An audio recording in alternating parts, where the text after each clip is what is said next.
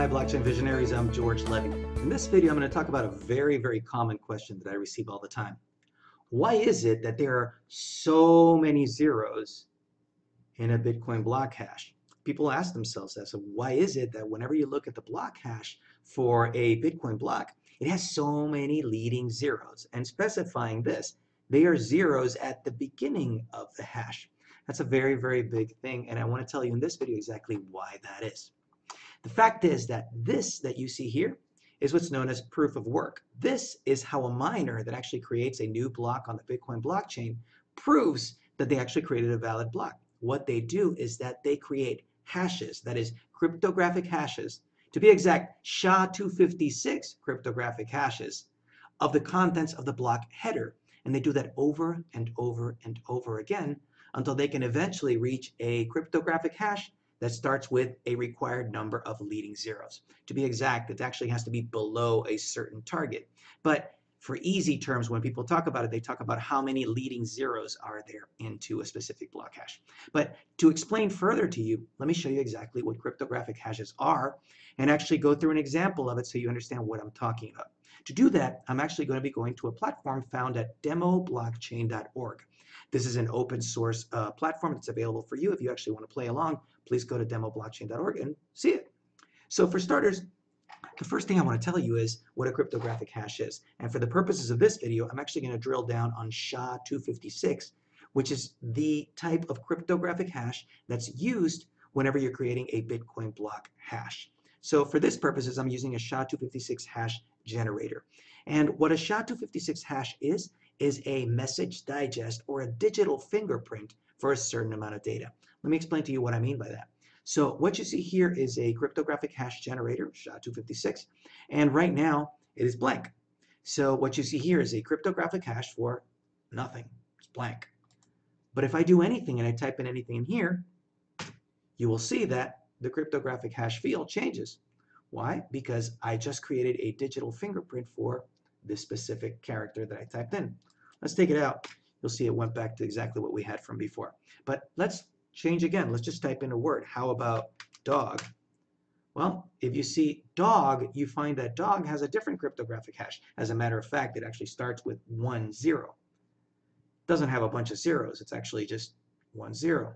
Okay, well, let's change this again.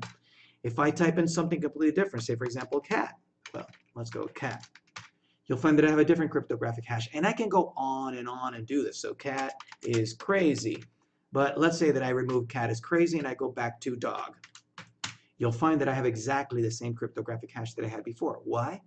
Because this is a digital fingerprint for this text, dog, with a capital D to be exact. In fact, if I type in dog with a lowercase d, I have a completely different cryptographic hash.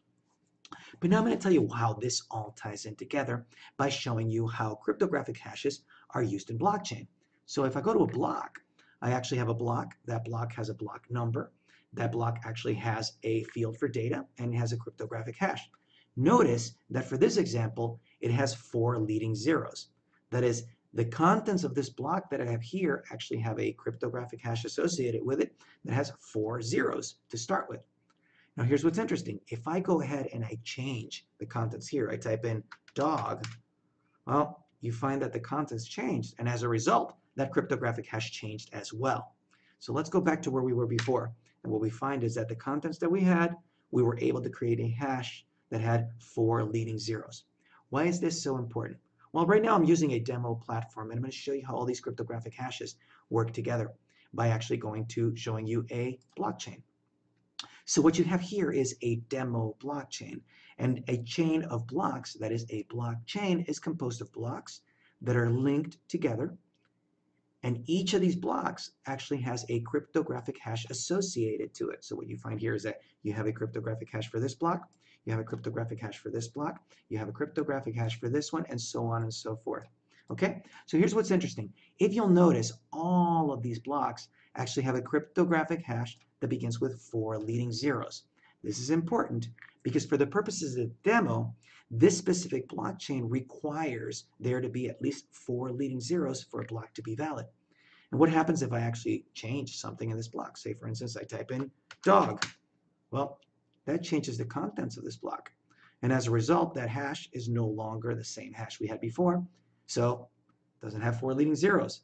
But in the process, you break all the other blocks. So this is the key thing about blockchain technology, is that to be able to get a block that actually has four leading zeros, you need to have exactly the data that's required in this block. But if I change it, well, it's no longer valid. But how can I fix that? Well, what I can do is I can do use what's known as a nonce, which is a number used once, which changes the contents of that block. So let me go ahead and I'm going to change that nonce. And the only way that I can do that is by actually doing random checks to see what works. So going to try the number one. Well, that doesn't work. You see, I still have a hash that doesn't start with four leading zeros. Let's try a number two. Well, that didn't work either. Well, let's try a number three. And I can go on and on and on. Let me try four. Let me try five. It's a very manual, labor-intensive process. Or I can just let the computer do it for me by just guessing again and again and again and again. And I'm going to let her do it automatically. So it's now going to go, go, go, go. Ooh, it took these number of tries to get a nonce that actually gave me a hash that had four leading zeros. But wait a minute, I still have a broken block in front of that and a broken block in front of that. So I have to mine each one of these blocks to do that. Now, this is what miners constantly do all the time.